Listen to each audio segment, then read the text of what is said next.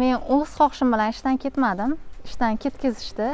Tashqaridan turib jurnalistlarni bosim bilan ishdan bo'shatishni stop to'xtatinglar deyish. Mani maqsadim faqat shu. Eski tizimni sog'ingan qo'msagan odamlarni talablari xohishlari o'yinlari deb o'ylayman. Oxirgi kunlarda bir qancha voqealar ijtimoiy tarmoqning o'zbek segmentida qizg'in bahslarga sabab bo'ldi. Sardoba fojiasi qo'shiqchi yulduz usmonova va ichki ishlar organlari o'rtasida yuzaga kelgan nizo to'qqizinchi may xotira va qadrlash kunimi yoki g'alaba bayrami kabi mavzular shular jumlasidan. Biroq o'tkir muammolarni ko'tarib chiqa olgani bilan tanilgan jurnalist anora sodiqovaning o'z mehnat joyi o'zbekiston milliy axborot agentligidan ishdan ketgani to'g'risidagi xabar ijtimoiy tarmoqni tom ma'noda portlatib yubordi. Bugun o'zbekistondagi matbuot erkinligi taqdiriga befarq bo'lmagan kishi borki sodiqova duch kelgan holatni muhokama qilmoqda. Anora sodiqovaning o'zi facebookdagi sahifasida bildirishicha u uzoq yillar davlat maslahatchisi lavozimida ishlagan va matbuot hamda madaniyat sohalarini nazorat qilib kelgan xayriddin sultonovning bosimiga uchrab ishdan ketkazilgan. O'zining postida sodiqova xayriddin sultonovni ko'plab jurnalistlar va qalamkashlarga nisbatan bosim o'tkazib kelganlikda ayblaydi. Anora sodiqova duch kelgan holat aksar odamlar tomonidan matbuot va so'z erkinligiga tahdid o'laroq qabul qilinmoqda. Jurnalist haqiqatdan bosimga uchradimi? Uning ishdan ketishi ortida xayriddin sultonov turganiga qanday asoslar mavjud? O'zbekistonda matbuot erkinligi yana bo'g'ila boshlandimi? Bbc ana shu savollarga oydinlik kiritish maqsadida sodiqovaning o'ziga mikrofon tutdi.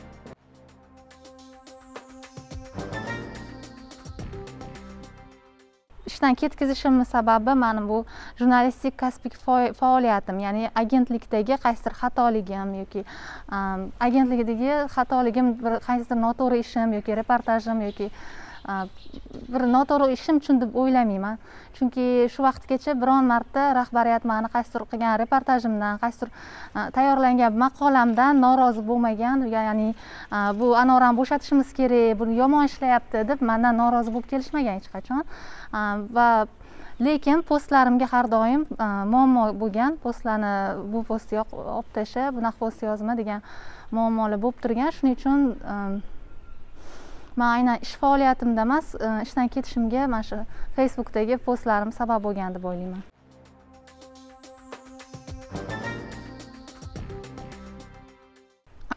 Facebookdagi e, postlarimni oldindan ko'pgina postlarim e, yoqmaganini olib tashlang deb chiqishardi.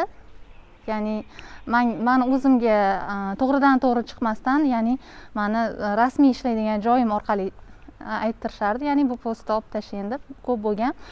Oxirgi mana shu ishdan bo'shashimdan oldingi post bu sardobadagi rahmat rahmat degan post bo'ldi va undan oldingisida ham qattiq janjal bo'lgan edi. Man bu ikkalasi bog'liq deb o'ylayman. Bundan oldingisi shu ikki ming o'n to'qqizinchi yil yigirma yettinchi dekabrda abdulla qodiriy bog'i uy muzeyini ochilishida men shu man u yerda hech kimni noo'rin aybladim deb o'ylamayman. Chunki o'ttiz yil davomida muzey bo'lmagandan keyin muzey bo'lishiga mas'ul bo'lgan odamlar jim turganda va lekin keyin mana mirziyoyev davriga kelib muzey bo'lganda ular go'yoki bir bir katta ish qilgandek shu vaqtgacha muzey bo'lishiga to'sqinlik qilib kelgan odamlar chiqib balandparvoz tantanali ma'ruzalar o'qishganda rostdan mani ko'z oldimga ko'zimga yosh keldi va buni yozdim. Man bu, bu kimgadir tegadi yoki bir bunaqa orqasidan buncha muammo bo'ladi deb o'ylamagandim lekin o'sha kuni shu yigirma yettinchi dekabr kuni shu post yozilgandan keyin to'xtovsiz ravishda telefon qilishdi. Buni olib tashlang olib tashlang. Boshqacharoq qilib yozing bu quvonch ko'z yoshlari edi deb yozing deyishdi. Man yo'q va qanaqa qilib ikki soatda man bu mani quvonch ko'z yoshlarim emas edi. Man pozitsiyamni o'zimdan o'zim o'zgartirib qo'ya olmayman dedim. Bu rostdan haqiqatdan alam ko'z yoshlari edi dedim. Shundan keyin o'sha kuni e, tantanali ochilish marosimida e, xayriddin sultonov ma'ruzasini yuborishdi. Ya'ni mana mana shuni shu postni qo'ying deb. E, chunki man bu ma'ruzani tanidim chunki u odam shu ma'ruzani o'qigandilar o'sha ochilish marosimida va mani postimdan ham aynan shu odamga qaratilgan edi. Shu odam va boshqa ular qatorida u qatorida boshqa odamlar ham bor edi. Shu postni qo'ying deb yuborishdi manga buni saqlab qo'yganman. Facebookda e'lon ham qildim. Man albatta buni qo'ymadim va postni ham olib tashlamadim. Manga mana mana shuni man yozdim. O'zingizni nomingdan e'lon qiling deyishgan e'lon ham qilmadim. Undan keyingi muammo mana shu kunlardagi postda bo'ldi. Yana xuddi shunaqa xuddi shunga o'xshashda tazyiq desam noto'g'ri bo'lar. Ya'ni bosim bo'ldi va man olib tashladim. Lekin shunga qaramasdan e, baribir aytishdi e, buyruq bo'ldi tepadan. Sizni bo'shatishga majburmiz. Siz yaxshi ishlab kelgansiz bo'shatish xohlamasdik lekin e, majbur bo'ldik deyishdi va man mm, qo'l yoz bosim ostida yozib berdim va bo'shadim.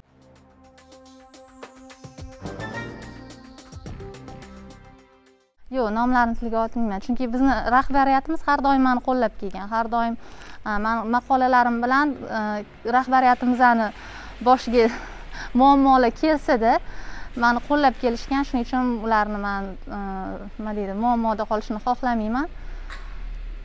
Va ular o'z xohishi bilan bo'shatdi ham o'ylamayman va buni ular o'zligi ham aytishdi. Ya'ni ya'ni sizni rahbariyatingizga bog'liq emasligi ha ya'ni mani ishdan bo'shatishligi ularga bog'liq emasligini aytishdi.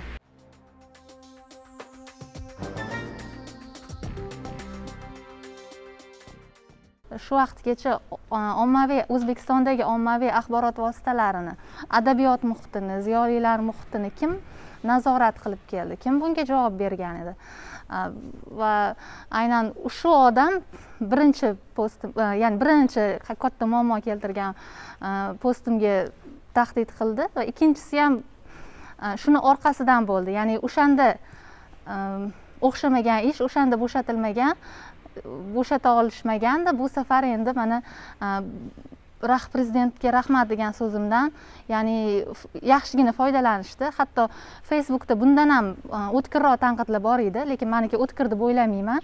Ya'ni e, prezidentga rahmat degan so'z odamlarni aytgan so'zini man bu prezidentga tanqid qilib yozilgan narsa emas edi lekin ular mana prezidentni tanqid qildi deb shu yo'sinda mani e, bo'shatishdi va bu yo'sinda bo'shatish bunaqa ssenariylar bilan bo'shatishlar shu necha bir necha yil davomida kim tomonidan bajarilib kelganini jurnalistlar ham yozuvchilar ham hammasi yaxshi biladi. Bu kimni ssenariysi bu odatda kim shunday bo'shatib kelgan odamlarni ya'ni e, yozilgan e, aytilgan fikrlar yozilgan e, fikrlar ya'ni e, prezidentga qarshi davlatga qarshi deb hatto qarshi bo'lmasa ham shunday aylantirib bo'shatish usulidan kim foydalanib kelganini va shu paytgacha kim oavni nazorat qilib kelganini manimcha hamma yaxshi bilishadi.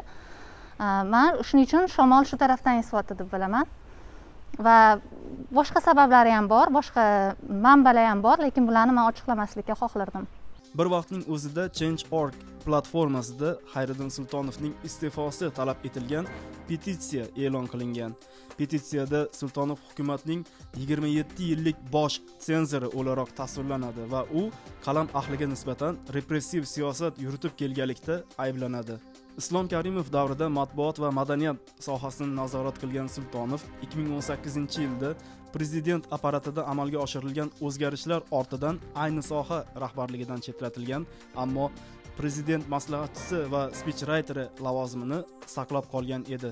Bbc anora sodiqovaning ishdan ketkazilishi bo'yicha da'volari yuzasidan izoh so'rab o'zbekiston milliy axborot agentligi bilan bog'landi. Agentlik rahbariyati jurnalistni ishdan bo'shatish bo'yicha yuqoridan hech qanday bosim bo'lmagani yoki u ishdan haydalmagani balki sodiqova o'z xohishi bilan ishdan bo'shaganini ma'lum qildi. Bbcning prezident maslahatchisi hayriddin sultonov bilan bog'lanish harakatlari esa hozircha natija bergani yo'q. Ta'kidlash joizki bbc ayni masalada barcha tomonlarning fikr va mulohazalari uchun doimo ochiq.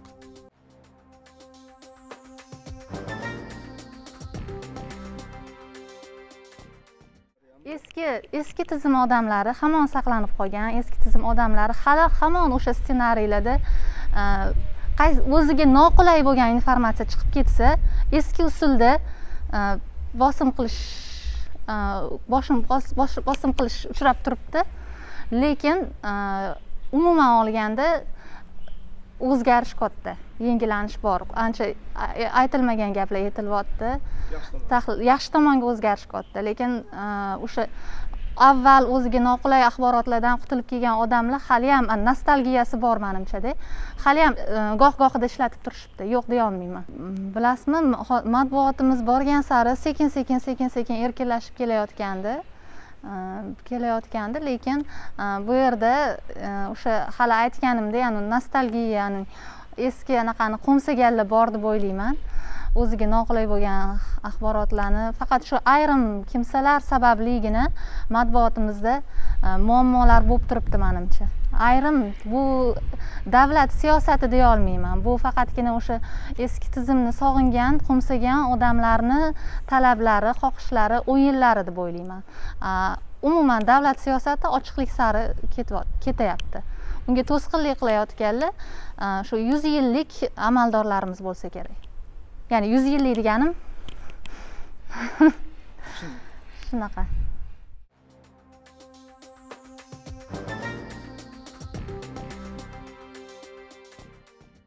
internetda ishdan e, facebookda ishdan bo'shatilayotganim ya'ni o'z xohishimga qarshi ishdan bo'shatilayotganimni yozganimdan keyin juda yam e, ko'pchilik meni yonimga oldi jurnalistlar umuman ko'pchilik yonimga oldi. Man ularga rahmat deyman. Lekin e, facebookda buni e'lon qilib aytayotganlar bor bo'ldi ketsang ketavermaysanmi nima qilasan facebookda? Shu shu qilib degan. Mani maqsadim shu shu qilish emas yoki shu shu qilib mana man nohaqlikda uchradim deb yordam so'rab tashqariga chiqib ketish emas man aslo xohlamayman tashqariga chiqib ketishni man shu o'zbekistonda tashqariga chiqib yashaganman ham imkoniyat ham bo'lgan lekin man doim o'zbekistonga qaytib kelganman.